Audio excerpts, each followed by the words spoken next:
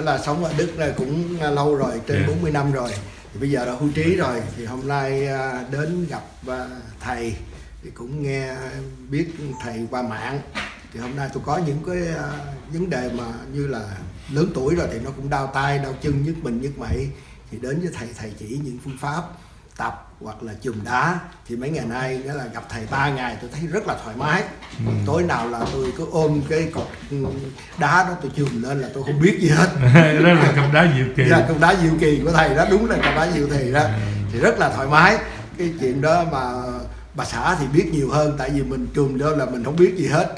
Là sáng dậy rất là thoải mái nhưng mấy À. ngày nay dậy rất là sớm mà không có thấy vấn đề gì hết. Thường thì tôi ngủ tới 12 giờ tới 1 giờ nhưng mà mấy ngày nay 6 giờ là vợ chồng tụi tôi dậy để đi đến đây mà không có À. vấn đề gì hết. À, cảm Cảm ơn thầy nhiều. Thôi chị à, phát biểu về cái giấc ngủ của ảnh này dạ thì ờ, ờ, em thấy là như vậy hồi xưa thì ảnh cũng ờ, không có phải là ngủ khó, có điều là ảnh ngủ ảnh ngái, kỳ lắm giống như cái tiếng ngái của ảnh giống như xe Honda mà nó bị rè hay là thiếu nhớt hay gì á.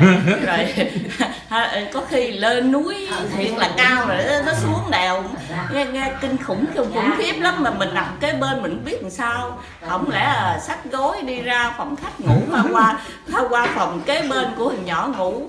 Thì cũng ờ, cũng kỳ cũng tội nghiệp à, thôi ráng Vâng. nhưng mà từ uh, ba đêm nay á, là mới vừa nói đi ngủ thì chưa kịp gì hết trơn á ổng ổng xách hai cục đá vô cái hai phút sau cái ổng ngủ liền Ừ. mà ờ, mà ổng ngủ cái giấc ngủ của ổng nó là em nghĩ là sâu đó Ừ. thành ra mà ổng thở rất là đều rất là nhẹ mình nghĩ cái tần số nó cứ bằng bằng bằng bằng bằng À. vậy hoài. Ừ.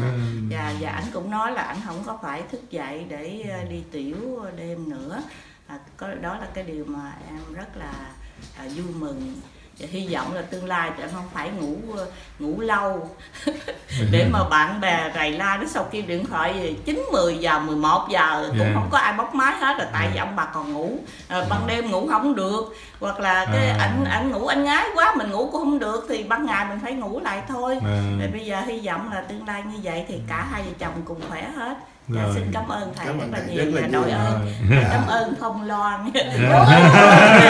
đã, đã vợ tất chồng cả tới người bạn đã tổ chức và Dạ. mời thầy đến cảm đây ơn à, bác tư trai và bác tư gái tại vì À. hai bác đó là cái à, cái gương của hai vợ chồng Dạ. à, tụi con là tới tuổi này mà nhờ trường đá và tập luyện à, giữ gìn được à, sức khỏe thì con thấy hai bác à, tổ chức à, mời thầy tới rồi phong loan nữa thành ra chúng con nghĩa là theo ủng hộ và noi theo gương của hai bác và một lần nữa xin cảm ơn đội ơn thầy và Dạ. cảm ơn phong loan với lại hai bác hai bác Rồi.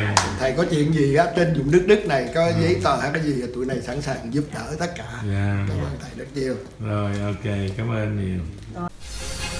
Liên hiệp Khoa học Công nghệ Tin học ứng dụng UIA, Viện Nghiên cứu và ứng dụng bấm huyệt thập trì liên tâm.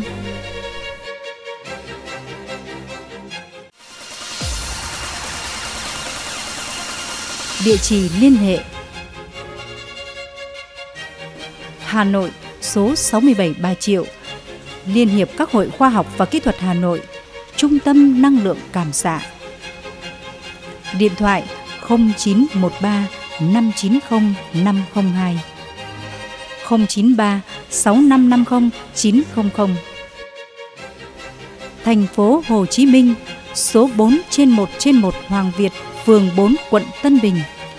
Điện thoại 0983 79 2206 0918 133 635. Chi tiết trên website www.thậpchỉliêntâm.vn